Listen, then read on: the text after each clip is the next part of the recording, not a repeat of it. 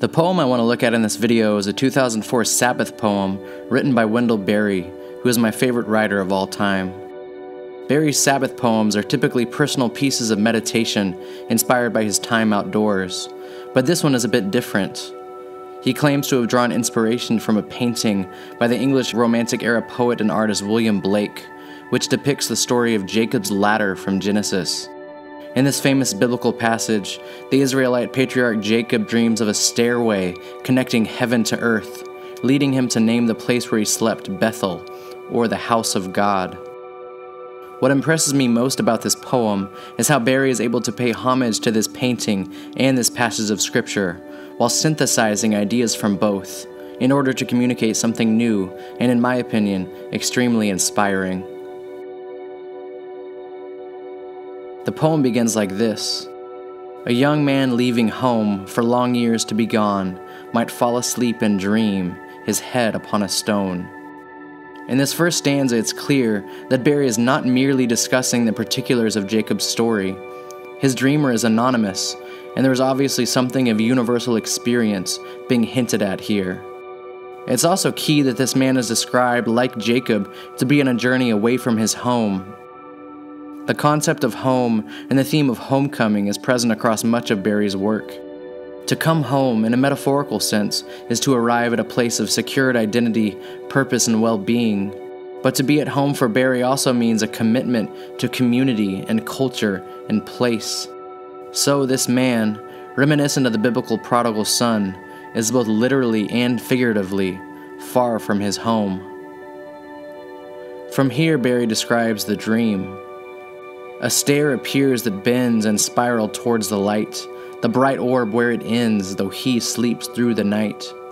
Darkened below the stars, angels in constant motion walk up and down the stairs. Delight and clear devotion make graceful all they do. The light and dark are bound, heaven to all below, bright stair and stony ground, in one light joined. What becomes clear in both the poem and the painting is the seamlessness by which heaven and earth are connected, which the man had apparently failed to notice before. This speaks, I think, to a core ideal of both Blake and Berry a distaste for dualism, for starkly dividing earth and heaven, soul and body, for demonizing the physical and elevating the spiritual. We see this message across many works by William Blake, in which he celebrates the physical life and the body, as well as the transcendence. In a poem written to some dear friends, which many actually link to this painting, he wrote of a vision of Jacob's ladder that featured his friends upon the steps.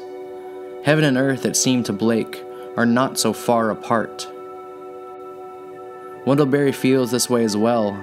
In an essay, he called this kind of dualism that separates the physical and spiritual the most destructive disease that afflicts us. He often urges his readers to view the physical world, the earth, our communities, our work, with a sense of sacredness. The poem puts it so well.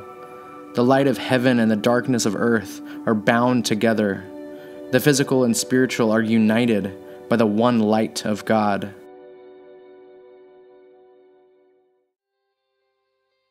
Then suddenly, in sleep, the dreamer wakes. He sees above the stars the deep of heaven opened.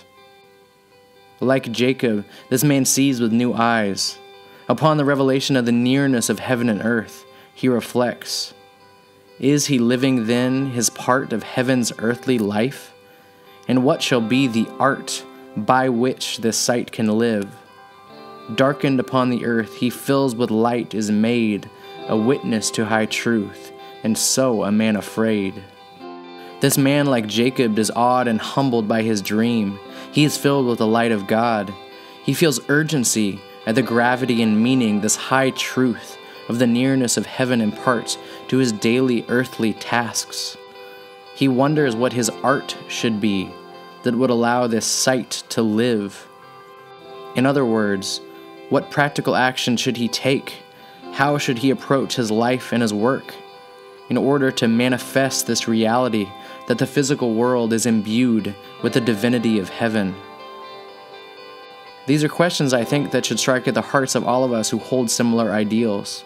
if we believe that there is a sacred quality to this world and our actions in it, if we believe that we get to experience or even participate in the light of heaven breaking into our earthly realm, then we should be convicted and humbled by the sense of purpose and responsibility this implies.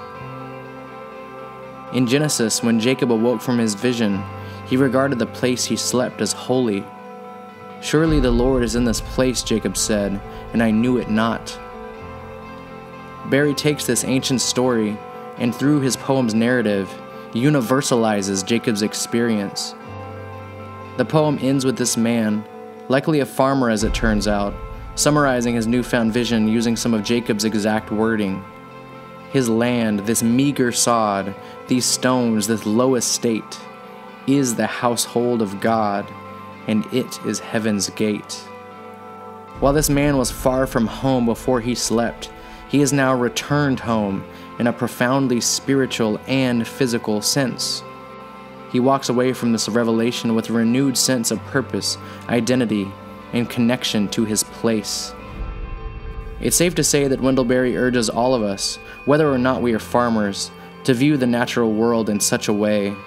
But he looks to this painting in the scripture passage in order to say something even more universal.